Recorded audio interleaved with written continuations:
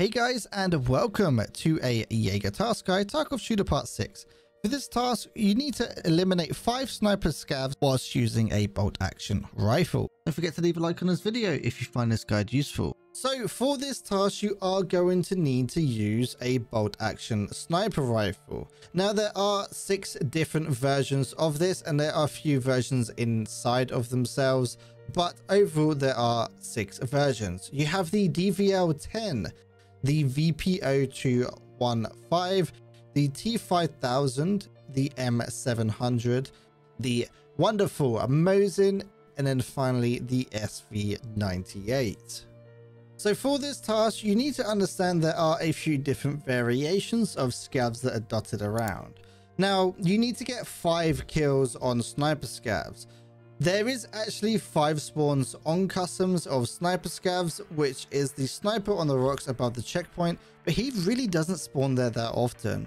Now, the military checkpoint sniper scav, he does spawn there a decent amount of time, around about half the time, 50%. The warehouse rooftop sniper, so I call this the sniper scav, next to the crane area. He does spawn up there. I usually find him later on in the raid, not so common at the start.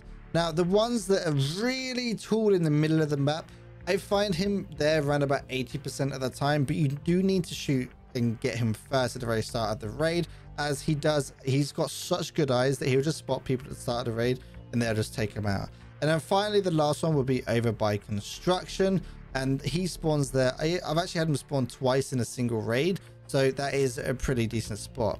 But realistically, in my opinion, the best way to actually get this task done are the sniper scavs on shoreline. So you can get two that spawn on top of power building and you can also get two at the northern bunker which is out the back of reserve. There is waves of spawns in Tarkov, so scavs can spawn at the very start of the raid and then later on, like after 20 minutes, there'll be another wave of scavs spawning in.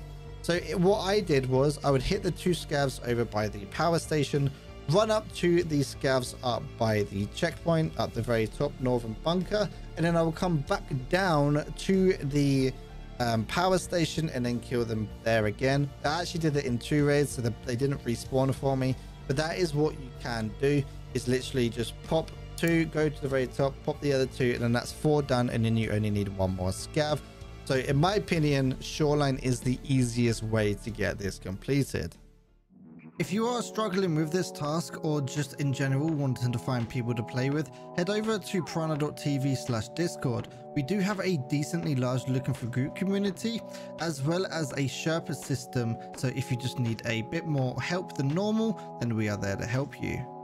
Hopefully you guys found this guide useful. If you did, don't forget to leave a like and subscribe or possibly consider joining the channel membership where you can unlock early videos as well as a few custom rewards. Don't forget to check out Piranha.tv as well. That's a one-stop shop for all of your guides, tasks, keys, all those kind of things in one location. Hopefully you guys found this guide useful and I'll see you in the next video. And a big thank you to all of my Patreons supporting me over on patreon.com slash piranha.tv. And a huge thank you to J Dam, Freddy and Beansy. Without this kind of support, I wouldn't be able to do what I do.